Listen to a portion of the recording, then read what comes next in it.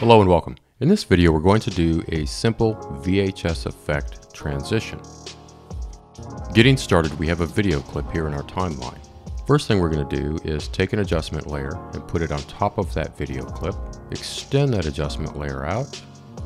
If you don't already have an adjustment layer, always remember you can just right click in this box, go to new item, adjustment layer, all of the settings will match whatever clip you have in the timeline, so always be mindful of that. Click OK to add that.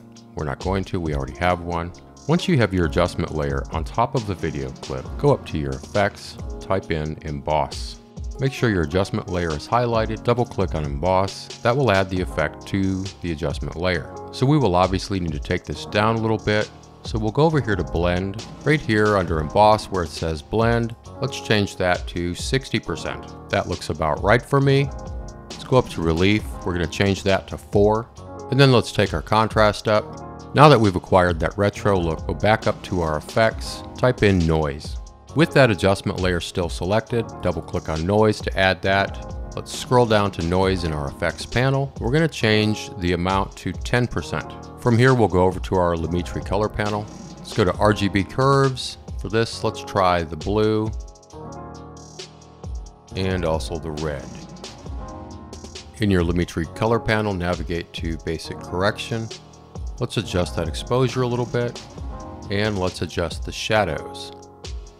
Now that we've achieved a very retro look here on the video, so now that we've achieved a very retro look here on the video, let's go back to our effects panel, type in directional blur.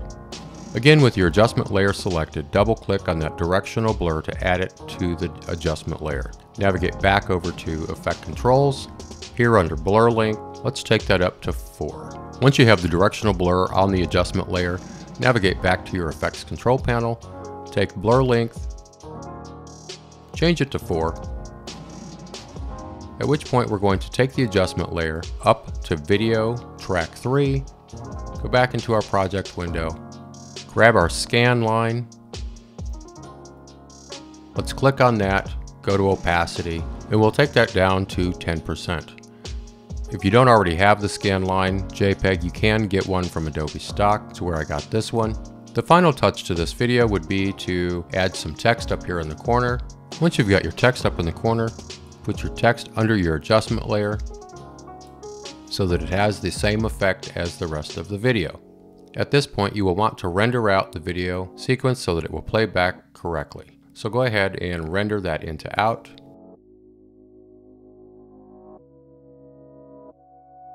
Once you've rendered out your timeline, it should look something like this.